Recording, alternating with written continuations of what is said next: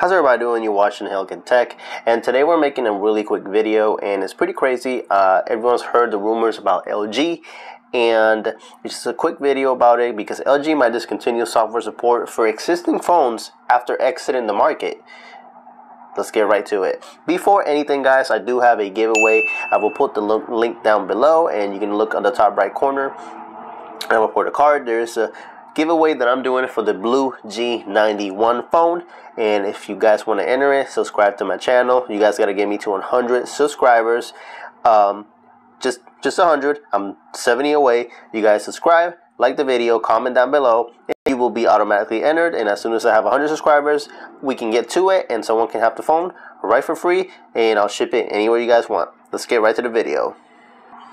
Now, according to this source, LG is expected to confirm its exit from the smartphone market in April, and a new leak says the announcement could come as soon as next next week, and that's pretty soon. Um, this article was like a day ago, so next week, sometime in early April. Um, it says the Korean company's struggles have been very public. Up to the end of 2020, it had logged 23 straight losses making quarters. 23 loss making quarters, I mean. After initially paying down reports, Playing down reports of a withdrawal from the industry, LG admitted in January that it was considering various options, including sale, withdrawal, and, and downsizing of its mobile unit. Now, I'm an LG. I'm not gonna say fan, but I do enjoy LG phones, and I think LG doesn't get enough credit for things. And I don't think LG should lead the smartphone market. And uh, if they do, someone should buy it out and get their ideas and make it their own and improve them. But I think LG leaving the smartphone market is going to be um, it's going to be sad, and uh, I think we should do something about it and help out this company. I will make a different video about that, um, but anyway, let's continue with the article. Now, the article states that LG has had negotiations with potential buyers and had reportedly failed, and the company now is now preparing to shutter the smartphone business.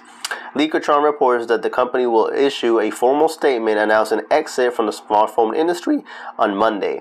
So, um, yeah, I'll be trying. I'll see if I can make a video Monday and see if this is true, and I'll stick around to to find out if this is, uh, you know, if it's a rumor or not.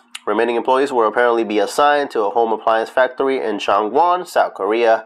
Yes, they do have workers, so I'm assuming they do have to do something. And hopefully they uh, can get relocated or find a better spot to to work and you know still be employed because that's very unfortunate. Um, I'm, I do not know how many workers are in LG, but that'd be very unfortunate. And then although the company had earlier promised that it will release a rollable phone this year, which is the LG rollable, which is a really cool phone, and I was hoping it could come out. And here's what the phone looks like. And as you guys can see, I mean, it's a beautiful phone, and hopefully we can see it. But they stopped the production not long ago, so it says it's been halted. So we're gonna have to see. Quirky phones like the Rollable and the Wing were intended to uh, reignite interest in the company's offerings and justify premium prices. The problem with LG making some of these crazy, crazy cool phones is that they were pretty expensive, but they do go down in price pretty quick. Um, yeah, but I mean that's not the point. They they are pretty expensive. I myself had an LG Wing, and it was just about a thousand dollars for Snapdragon 765G processor phone. You know, it says the manufacturer also reportedly canceled planned first, first half releases of other new handsets.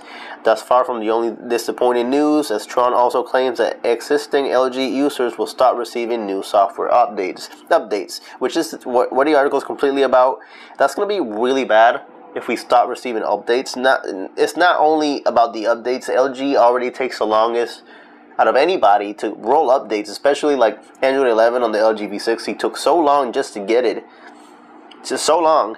And that's just going to be extremely unfortunate. And it's going to make our newer phones like the V60, maybe the Wing, and if they release the LG Rollable, just not last long if they're going to exit the market and they're going to do this.